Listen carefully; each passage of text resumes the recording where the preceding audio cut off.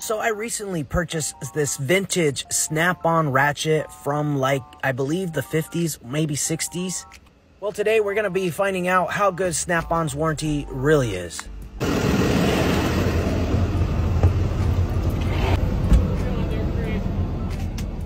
Got something for you. Do your magic. So, you want to just bring? I, I don't think I have my You receipt. Don't have your receipt on No, no, I lost it. something There's a like that. date code. You can look it up on the internet. Is there? Do you know where the date code is? You can look it up on the internet by looking at the. Okay. I'm sorry, I gotta get down do it. All right. So no, so no warranty. Yeah, sure. So I can't get this one real, real quick. You can keep making your TikTok. Well, guys, I got my receipt, but unfortunately, no warranty.